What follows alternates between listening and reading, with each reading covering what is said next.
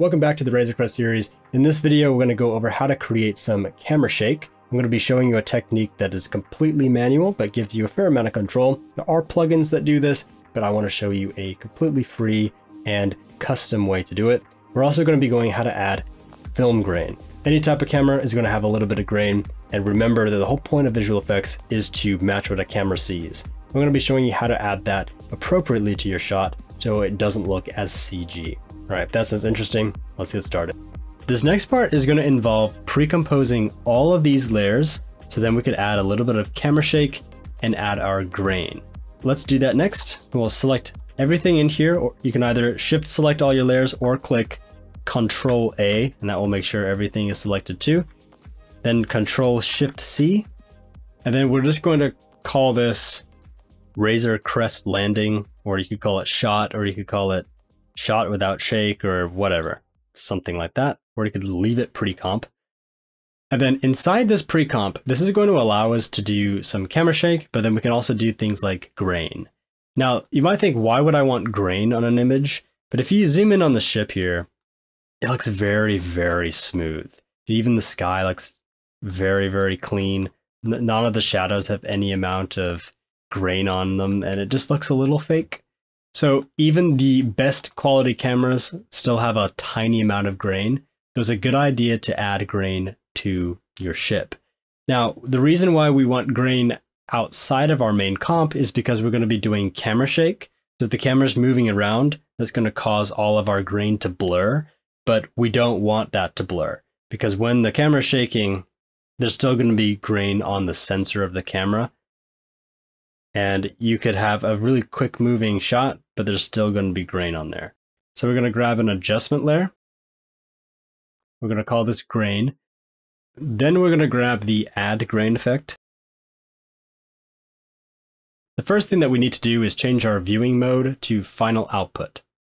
And then right here, you can see that this looks absolutely horrendous. Don't turn anything in like this. That would be, that would completely ruin the overall image. Instead, what we're going to do is we're going to lower the size and play around with some of the other intensity settings. But then more importantly, we're going to be able to tell After Effects where we want the grain. Because on a real life plate, darker areas or just shadowed areas are far more susceptible to grain than bright areas are. So in areas where it's really dark, we want more grain. In areas where it's bright, we want less grain. The first thing is though, we want to drop down the intensity quite a bit. You can start with like 0.1. And uh, the intensity is far less now, but the size is still like way too, way too much. So we could do something like 0.25. And when you do 0.25, it is going to look a little bit stronger. So then on the, on the intensity, we could do something like 0.05. And that looks quite a bit better. Next for the color, I don't really want it to be so colored. So if you zoom in here, we can still see there's quite a bit of color there. You can say monochromatic and it gets rid of all the color, but in real grain, there is going to be a slight difference in color. But instead, let's just drop this down to like 0.5. You can see there's a tiny amount of color, but that's pretty subtle. Then for the application, this is where we're going to be able to say where we want the shading. So on shadows, we'll leave that but then for things like the clouds in the sky, we don't want this much grain. So on the midtones, we could do something like 0.5. You notice the sky loses a little bit of that grain. Uh, on YouTube though, on, on the compression here, this might not be as clear depending on how how its compression handles this. So this is something that you're going to have to just judge that for yourself. Highlights though, I'm going to put them at 0.1 and I think this looks pretty good. For the most part, you should see just a very fine amount of grain on the ship, the underside of the ship. And then if we zoom in on some of these rocks, we toggle the grain on and off, you should be able to see there's a little bit of grain here. Something like that. That's all we have to do for the grain. Now for the camera shake, we're going to create a null object.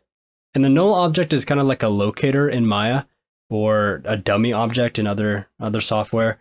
So you can basically just add transform information, so movement information, and then have other layers follow it. So I'll call this layer camera shake. Grab a slider control. So a slider control just allows us to add a custom variable basically, and then we can use it in like a, a little expression. So we're going to be using a wiggle expression, and the wiggle expression is what's going to allow us to randomly animate some camera shake. And to control that wiggle expression, we actually need four of these slider controls. So we can just duplicate that, control D three times, and we'll have three extra copies of it. Then next we'll click enter. And we'll say shake position frequency. Next we'll do shake position intensity. Then shake rotation frequency and shake rotation intensity. We're not going to animate the scale because that would mean the camera's going forward and back. And it tends to just make the whole thing look a little bit jerky. So we, we don't want to do that. All right, so then what we're going to do, we're going to click P on the camera shake null object and then Shift R. So P brings up the position channel and Shift R just appends another channel to your selection. So you could do the same thing. You could do R, which opens up just rotation, and then Shift P or Shift S, Shift T. You're just adding other channels because by default, if you just click T, you only get opacity. Then if you click P, you only get position and, so on. So we're going to do position and then rotation with Shift R.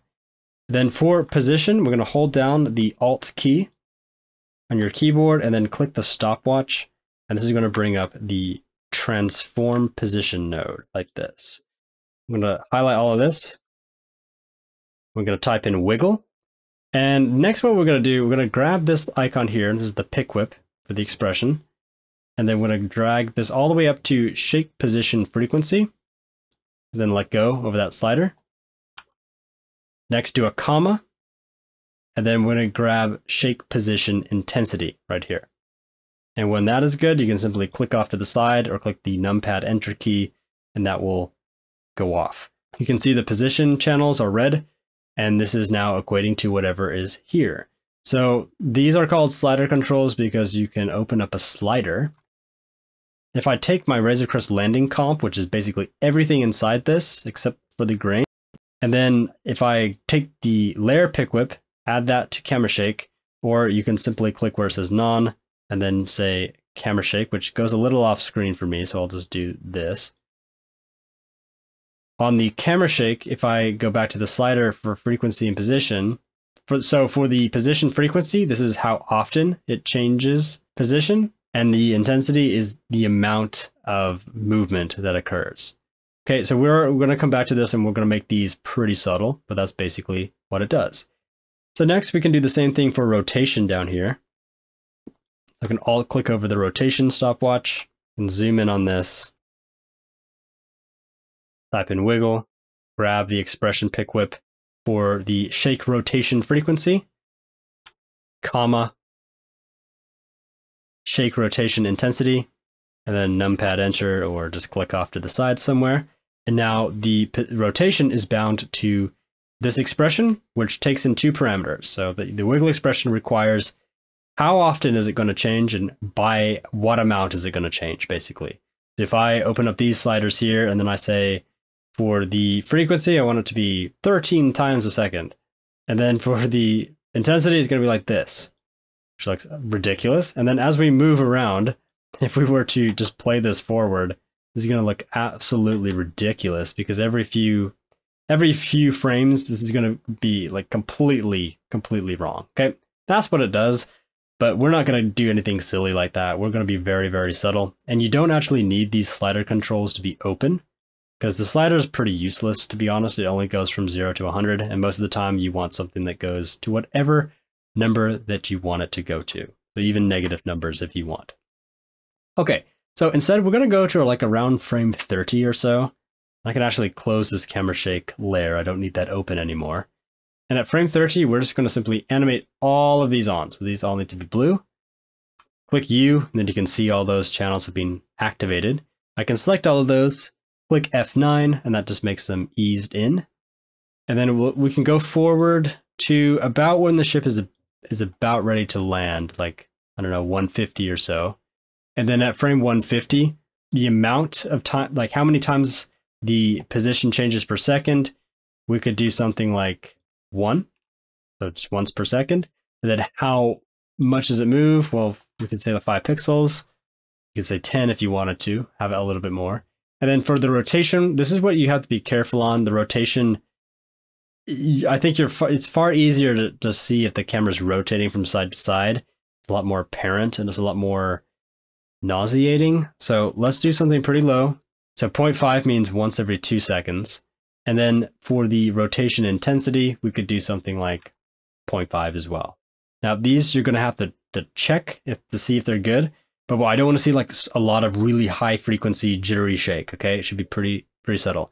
If you just wanted some kind of like super smooth rocking motion, that would be okay as well.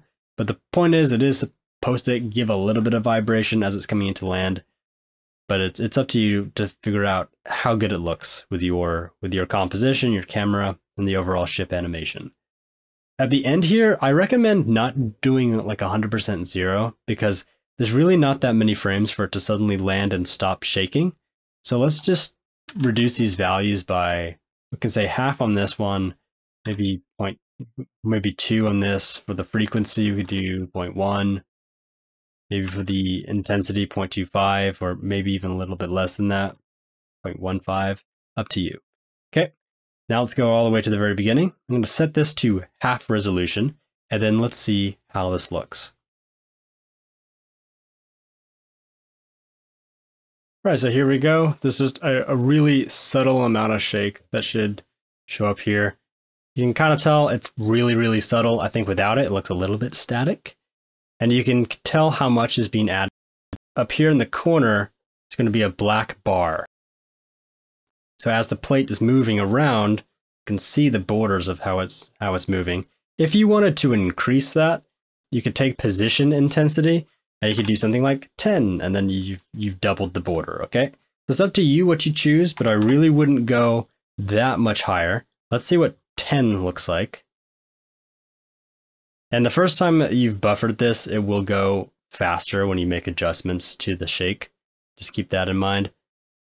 So as we come down here, it is going to be a I think also the camera in Maya kind of dips down a little bit quickly, which is a, a change that I would fix if I was doing this, if I was going to do a version 3. So I think that looks pretty good. I wouldn't do anything more than this though. And actually, I'm going to go halfway on that and just say 7.5. All right. So we do have to address this edge, and the way that we do that is not very elegant. All we do is click S for scale on our Razor Crest landing comp, and then we just need to scale this up. So at the maximum amount of shake, it's going to be a little bit larger. So we could do something like 101. Just increase that by 1%. See if that solves it there, which it looks like it's getting very close. We might need to do 101.5 just to give a little bit more boundary there. The more rotation you have, which it really should be pretty subtle, but the more rotation you have, the more you have to scale in. So if you were doing an effect shot and you knew you were going to add a lot of shake, you would do what's called an overscan in Maya, which you actually end up rendering a little bit wider than you need, just so you can fix things like camera shake, and it's also useful for lens distortion corrections and things like that. But basically just go through each of your edges, scrub through the entire shot, and just make sure that that line doesn't go up higher.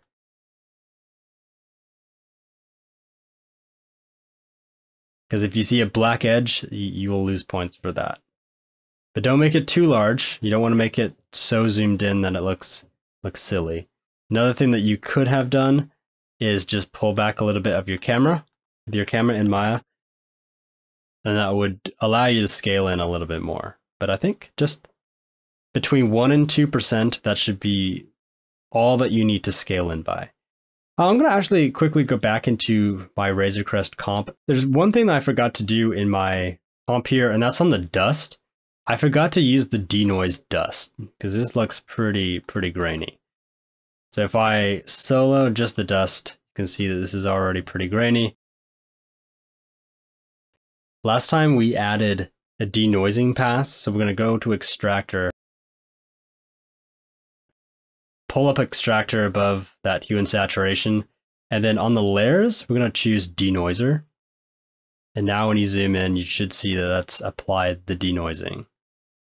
with, without. And remember that denoising does alter the values because if it's very grainy, it basically averages the colors of surrounding pixels. And if they are darker or lighter, it will make your image darker or lighter. So we may have just made this entire thing just a little bit darker. Looks like we have. So you may need to go with the curves adjustment and boost that up a little bit if you want to kind of match what you had before. Okay. I think also on our color correction, I'm going to brighten up the shadows just a little bit because I think they're getting a little bit too dark. And when I did that, I actually want to go back to the dust now. Maybe not make that quite so bright. I don't know what I want to do with that curves. I think that looks okay, but so does that. Maybe something halfway in between that. Going into my tweaking phase again, so let's uh, back out of your comp. And one thing I wanted to show you, when you have lots of different comps like this, like for example, we have Razor Crest Landing, we have our ship and environment depth, which we haven't used for a while. Then we have comp one. Well, really, you should keep your hierarchy in order like this but sometimes it gets completely messed up. So if you're on, let's say your ship environment depth, then you want to back out to your Razor Crest Landing, or whatever comp this is in, sometimes you will have so many comps it goes like off screen, okay? Especially if you're on a smaller screen. So if you click the tab key, the tab key will show you what the parent comp is, and if it has any child comps. So if we go back to our Razor Crest Landing comp, click tab again, you can see it has the environment ship depth as a child comp, and then it also has a parent comp. You can go to comp one. So on comp one, if you click tab, you can see that there's a child comp, which is Razor Crest. Using the tab key is a really useful way to step forwards and backwards between different nodes of your composition.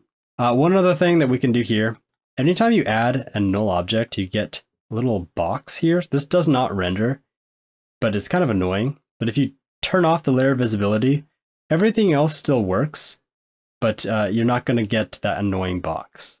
So the very last thing that we have to do on this composition is on our Razor Crest landing comp, we do need to enable motion blur. So you enable motion blur with this switch right here. And as long as motion blur is enabled for your composition, when the ship jitters back and forth, it will also blur just a little bit too, which is the type of response that we would see in a real camera. Alright guys, thanks for watching. We are nearly done now. There's only one more video left. And in the final video, we'll be setting up our composition for rendering and then adding our slate. See you guys there.